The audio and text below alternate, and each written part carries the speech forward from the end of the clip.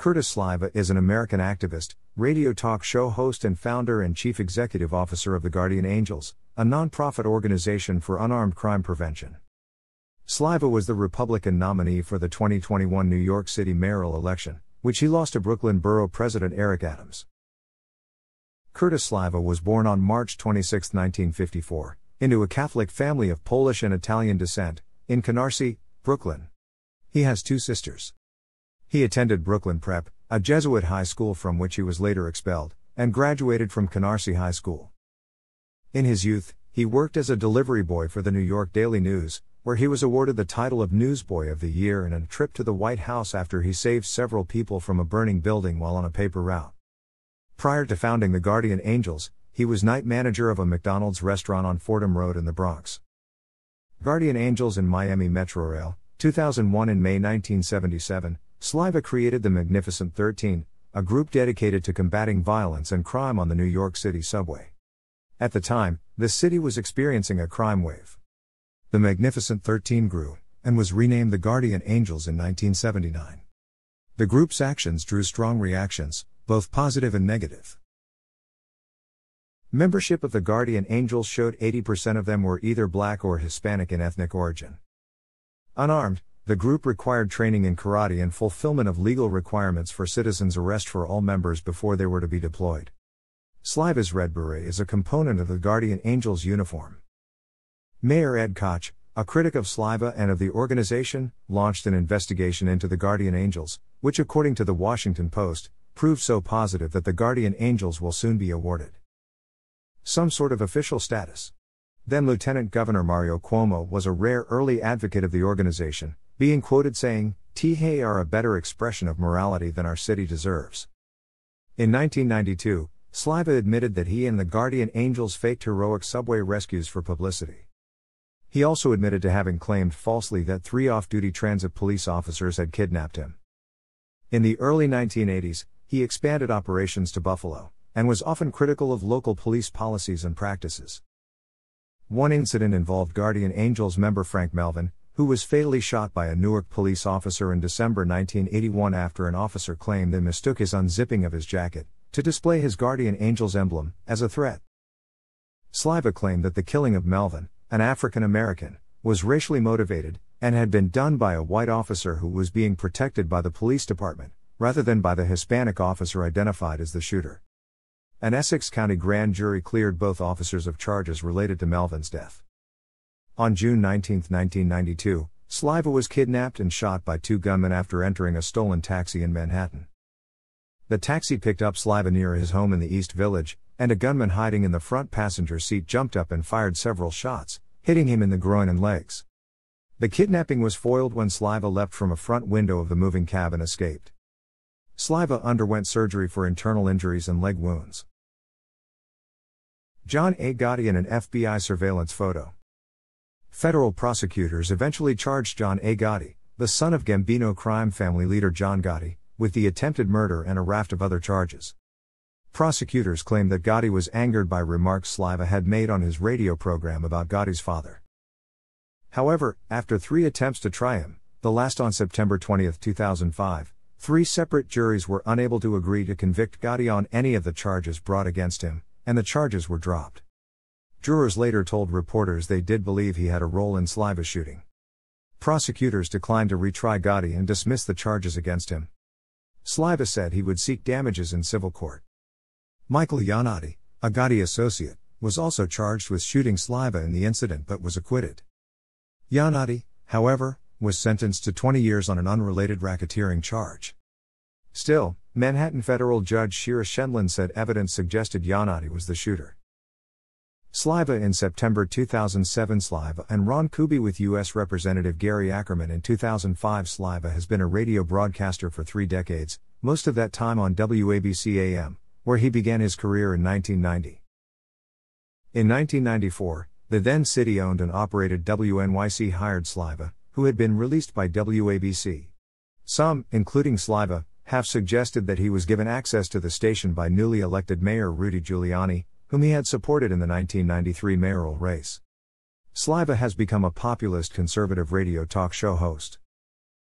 Since 1996, he has hosted various radio programs on WABC, and in 2000, he became the co host, with attorney Ron Kuby, of the long running Curtis and Kuby in the Morning. The show lasted eight years before Citadel Broadcasting replaced the team with Don Imus. His longtime broadcast partner was lawyer Ron Kuby, with whom he had multiple times hosted in the past Curtis and Kuby weekday radio show at noon, on WABC AM in New York City.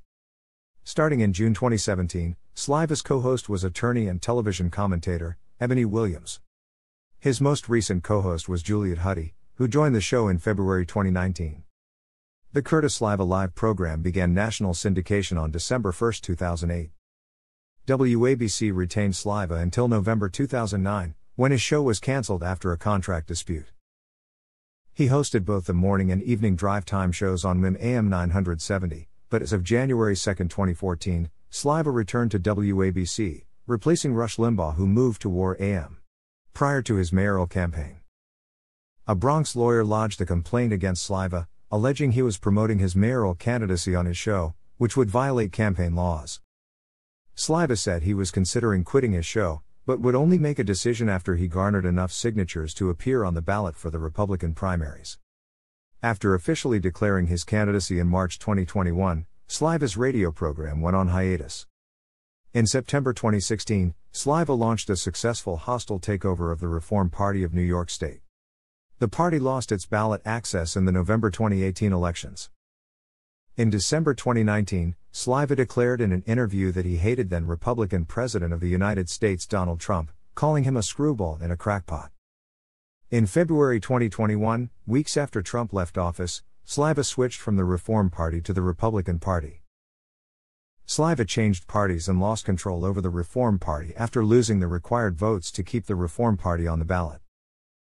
In that moment, Curtis Sliwa lost the Reform Party NYS and Bill C. Merrill regained control over the NYS Reform Party and is now again NYS chair of the Reform Party and the official state party is again affiliated with the National Reform Party. Sliwa announced on March 8, 2020, that he would be running for mayor of New York City in 2021 as a Republican, seeking to become the 110th mayor of New York City.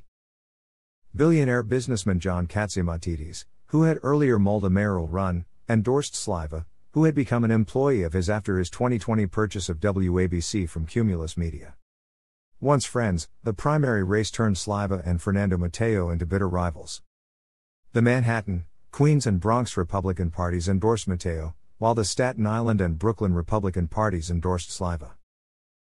Sliwa criticized Mateo for donating to the 2017 re election campaign of Mayor Bill de Blasio, a Democrat, and Sliwa also accused Mateo of breaking the law. Mateo replied that Sliwa's accusations were bogus and shameful.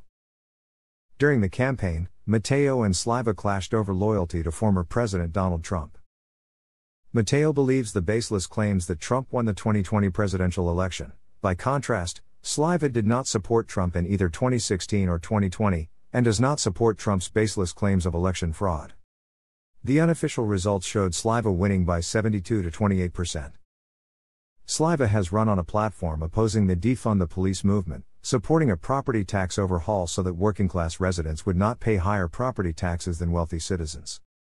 Keeping in place the specialized high schools admissions test while increasing opportunities for vocational training in charter schools, and focusing on fiscal restraint. He also opposes the killing of unwanted animals and supports making all animal shelters no kill shelters. Sliwa campaigned on beginning a trial program, if elected, to test out the feasibility of UBI in New York City.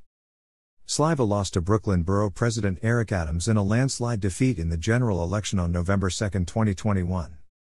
Sliwa conceded that same night, calling for unity in order to save New York City. Sliwa at a Toronto gathering, in July 2006 Sliwa is a Roman Catholic. Sliwa has been married four times. He wed his second wife, Lisa Evers, in 1981. At the time, she was national director of the Guardian Angels and co hosted a WABC AM radio show called Angels in the Morning. She is also a martial arts expert who briefly trained with the World Wrestling Federation in 1986.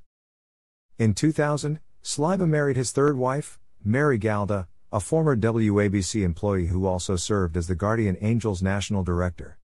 They have one son, Anthony Chester. Sliva was diagnosed with prostate cancer in 2010, which he announced publicly on April 20, 2011. Sliwa was in a relationship with Melinda Katz, the Queens County District Attorney, and separated from her in 2014. They have two children together, conceived in vitro over the previous five years. She is named in a court case involving Sliwa, accused by his ex wife Mary of diverting money to Katz while still married to Mary, as part of a plan to build a nest egg with Katz prior to moving in with her. In 2018, Sliwa wed Nancy Regula at the Howe Caverns. Thanks for watching.